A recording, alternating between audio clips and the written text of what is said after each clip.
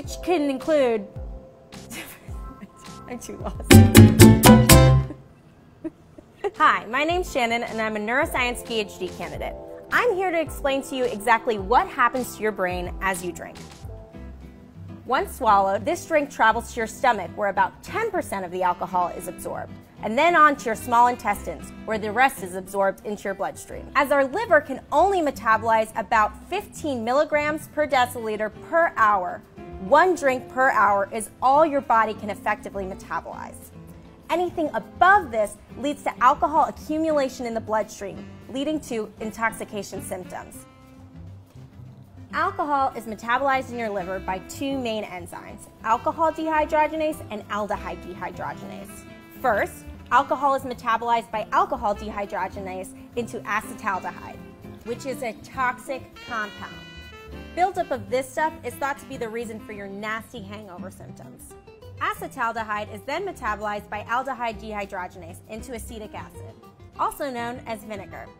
When I drink, I like to think of myself as a cute little vinegar factory. After two drinks, the signs of intoxication may begin to surface. You may think it's a good idea to send that text or to insert yourself between a conversation between two strangers. But why does alcohol do this? GABA neurons are inhibitory neurons, or the stop neurons on your brain.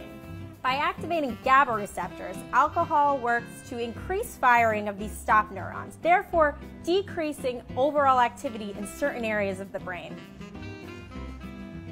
It doesn't stop there though. Alcohol has the ability to squirm its way into glutamate, squirm its way into glutamate receptors. Glutamatergic neurons are excitatory neurons, or your GO neurons. So, alcohol finds another way by inhibiting these glutamatergic neurons to decrease overall brain activity in certain areas. One of these areas is the prefrontal cortex. I like to think of it as the mom of your brain. So, as you drink, activity of the prefrontal cortex goes down, making you less like your mom and more like your crazy aunt. But I know what you're saying. But alcohol makes me feel good. And there's a science behind that. Alcohol causes increased firing of dopamine releasing neurons. Now, dopamine is your feel good neurotransmitter.